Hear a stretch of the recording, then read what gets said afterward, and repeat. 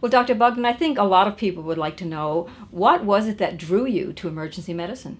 So I spent a lot of time in Corner Brook um, during clerkship doing emergency medicine out there, and I really came to enjoy the variability. The fact that I didn't know what was going to come through the door.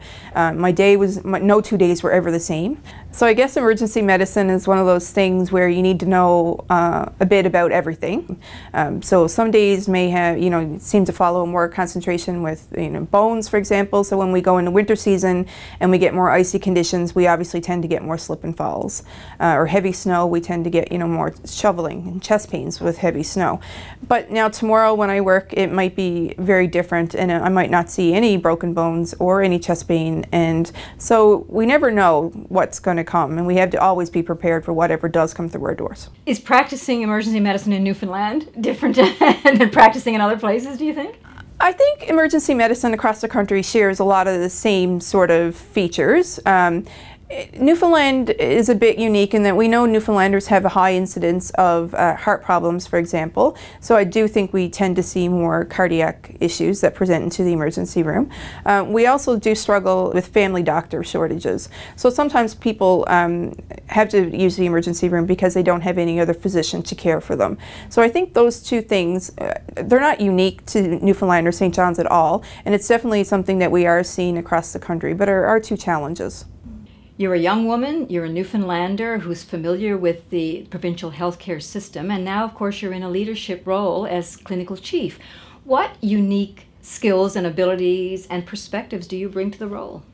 I am from rural Newfoundland. I was raised in rural Newfoundland, so I do recognize some of the challenges that running um, hospital and healthcare facilities in rural Newfoundland do pose, um, which are unique in, in itself.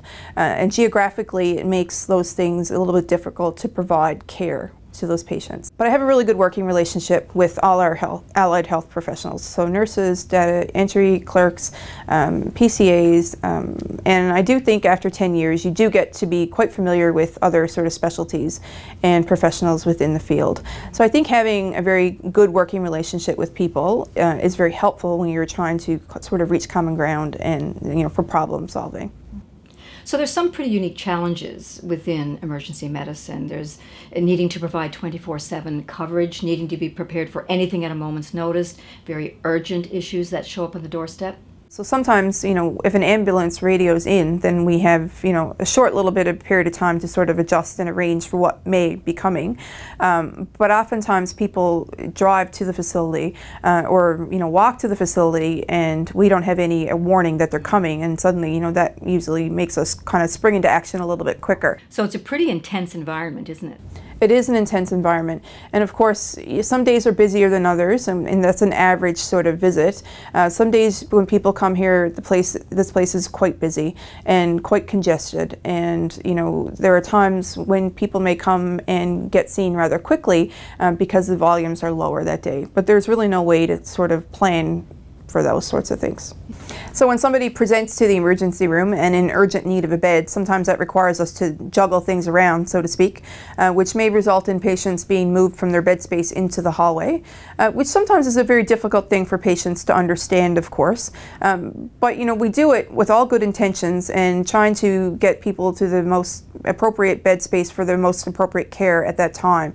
Um, so we never try to move people who have sort of infection control issues, who may be immunocompromised, such as you know, patients who are taking chemotherapy or other sort of medications that may um, potentially dampen their immune system. We try to take all those things into account when we do choose people to move, but sometimes we ultimately don't have any choice, but sometimes we do have to put people into the hallways so that we can provide active treatment for others who might present. And of course, one thing we've heard over the years, and sometimes very loudly, has to do with wait times in emergency rooms.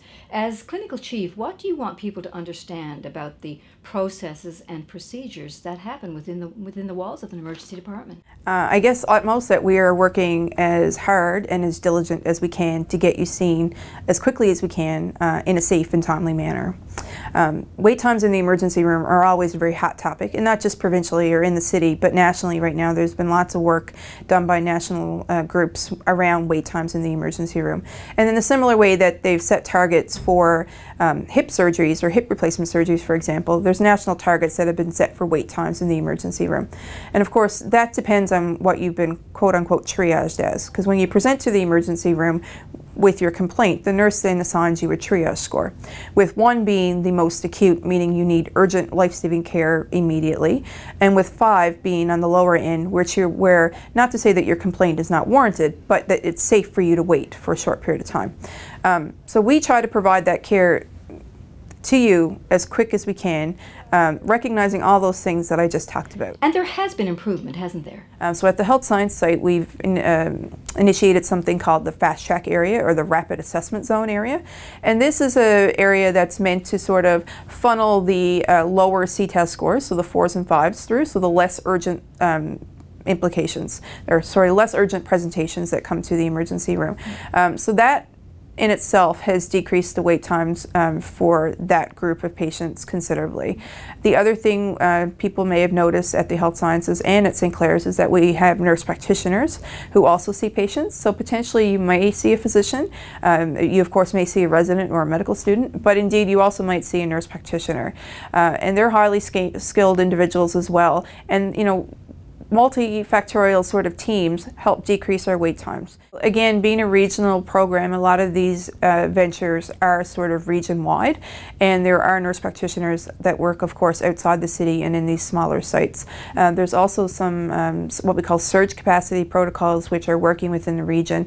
So, should there be a certain number of charts, there's key factors that you know would trigger these sorts of things. A certain number of charts or a certain number of patients with a higher acuity, uh, then there's some availability to bring in an extra physician to help sort of decrease the backlog. What are your thoughts at this point in your uh, practice and also in, in your position? So I'm excited about what's to come. I think we've done some really good work. Uh, I had a great mentor before me, so he's uh, he left big shoes to fill, so to speak. Um, but he's also been a great support to me as I continue. Um, our group here, you know, within Eastern Health is phenomenal. Uh, we work well together. We have, you know, a lot of eager people who are trying to make this whole experience better for everyone. Uh, so I think there's still lots of good things to come and lots of good work to build on. Great. Thanks very much. Thank you.